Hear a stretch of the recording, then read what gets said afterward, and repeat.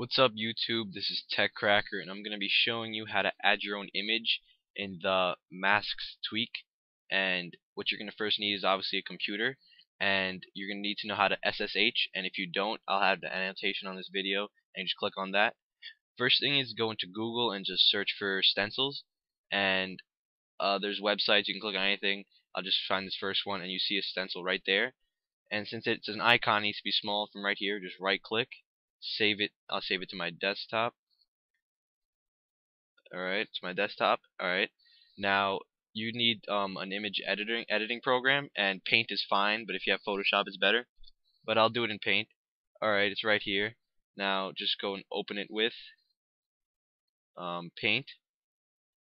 Now for you have to resize it and for non-retina devices it, you have to make it pixels 59 by 59 on retina devices it's 8 1 1 uh 118 by 118 and on iPads it's 78 by 78 I'm on the iPod touch 4th gen so I'll be 118 by 118 now you have to make sure that it's um, a white background and the image is black just like this and you need to save it as and make sure it is a PNG changing it down here.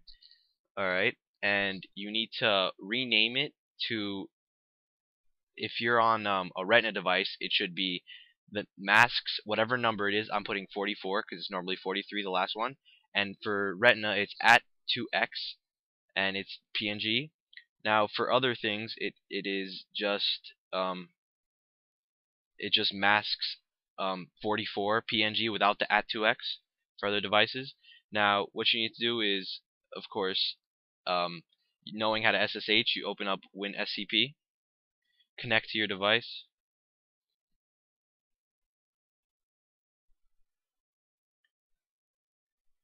and just let me connect. Alright, now you have to find the folder.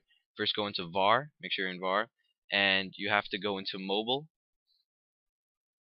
then library, and where's masks? Right, oh here it is right click on masks then default and then it depends what folder you're in and for for non-retina just icons for the iPad it's icons iPad and for retina it's icons 2x now you just drag the file in and then press copy.